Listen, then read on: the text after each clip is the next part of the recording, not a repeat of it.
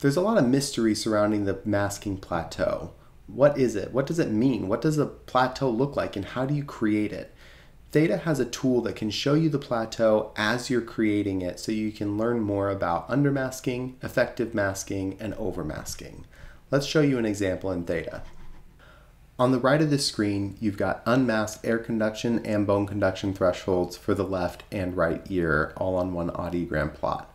On the left side of the screen, you've got a masking plateau plot, which is going to plot the stimulus level and the masker level every time the patient hears the beep. You'll see what I mean as we get going. Let's look at 1000 Hz in the right ear by bone conduction.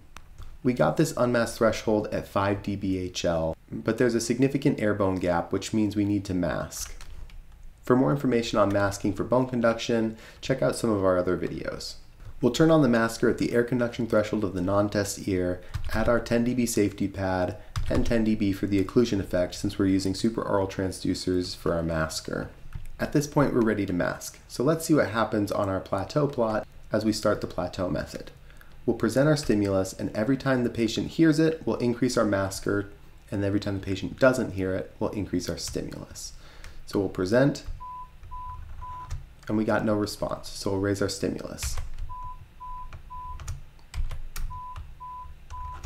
At this point, the patient heard the response, so on the plateau plot, you'll see our first point is selected at 15 dB HL stimulus level with our masker at a level of 30 dB HL. Whenever the patient hears it, we increase the masker to cover the sound that crossed over back up. We get no response, and since there is no response, we don't get a plot on our plateau plot. So what happens when we don't get a response? We raise the stimulus and the patient responded. And now you can start to see the beginning of this plateau plot where we're drawing a, an increasing line in 5 dB steps. So now I'll continue and you'll see how this plateaus in just a second. We got a response, so we're going to raise the masker and then our stimulus. Got a response, so we'll raise the masker. And we got another response at this point. So whenever you get another response, you're going to raise the masker one more time. And you could raise the masker again. You'll notice in the plateau plot that we keep increasing the masker level, but the stimulus level doesn't change. At this point, we're fairly confident that the stimulus is being heard by the test ear because it doesn't matter how much we increase the masker, the patient is still hearing it. This is indicating that they're not hearing it in the non-test ear and that they are hearing it in the test ear. We can continue to raise the masker until we see a change in the plot.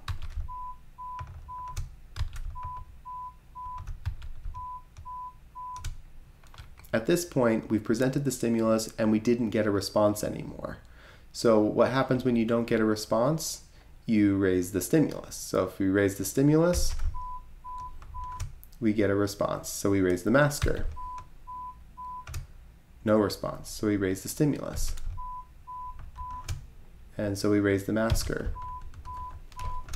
Now something really interesting is happening here because you'll notice that at this point our bone conduction threshold looks like it is higher or poorer hearing than the air conduction threshold, which shouldn't be possible. Usually if there's a gap, it's an air-bone gap, not a bone-air gap. So what's going on here? Well, at this point, the masker is so loud that the masker is crossing over into the test ear and it's covering up our threshold. So it's artificially elevating the threshold in the test ear. This is called overmasking. If you look at the plateau plot, the initial rise in the plateau plot shows undermasking, where you don't have enough masking to cover up the non-test ear effectively. Once you get enough noise in the non-test ear, you can increase the noise in that ear without affecting the patient's response. This is called the plateau or effective masking. At some point though, you put too much noise into the non-test ear. When there's so much noise in the non-test ear from the masker, the masker crosses over into the test ear and actually covers up the true threshold. And so when you can't hear the true threshold, you would raise the stimulus again, but this would take you past the true threshold, and that's overmasking.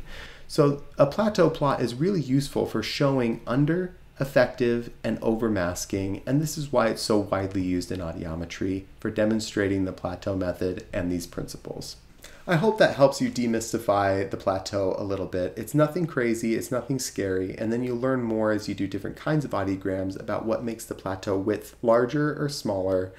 I'm excited for you and your journey as you learn more about the plateau and how to effectively mask for your patients.